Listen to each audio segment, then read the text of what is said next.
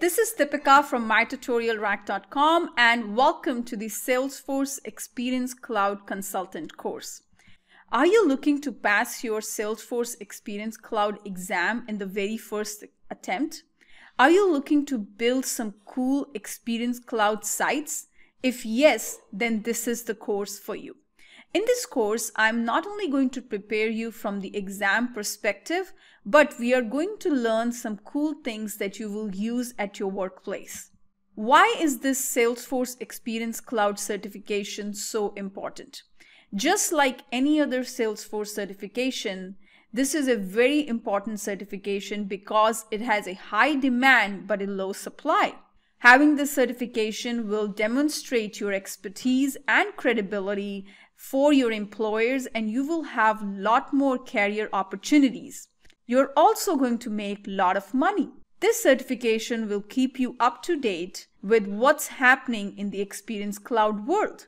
So having this certification will be a boost to your Salesforce career. What are we going to cover in this course?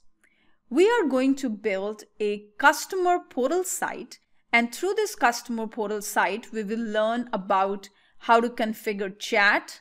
We will talk about gamification, moderation, and we will talk about topics and knowledge article. This is the first site that we are going to be building in the course. Once we have gone through a customer portal site, I will also build a partner portal site in this course. And through this site, we will talk about security and sharing. We will learn about some account relationship data sharing rule we are going to cover all this in this particular course. We will talk about sharing sets, sharing rules, etc. Once we have built both of these sites, we will also create some dashboards and insights for the site so that users can get a 30 foot view of what's happening on the site. We will also download an AppExchange product to install dashboards and we will also see how to build your custom reports and dashboards for your site. Not only that, we will talk about Salesforce CMS in depth we will see how we can pull post from an external site onto your own site. As you can see here in the image, we are pulling post from Washington TV onto our Experience Cloud site. So we will be doing some cool examples in this course.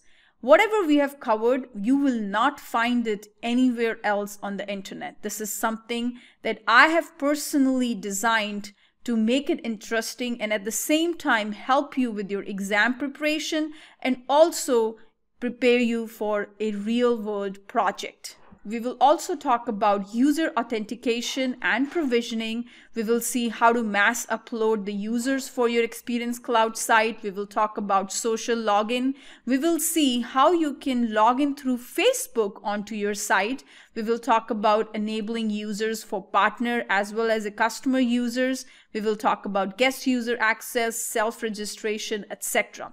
All the topics from the exam perspective are covered in this course. Not only that, after every section of the course, you're going to see quizzes, which will help you to prepare for the exam. I will also be adding a lot of practice questions in this course, which will also improve your chances of getting certified in the very first attempt. So what are you waiting for? Join this course now, and I am going to see you inside the course. Thank you.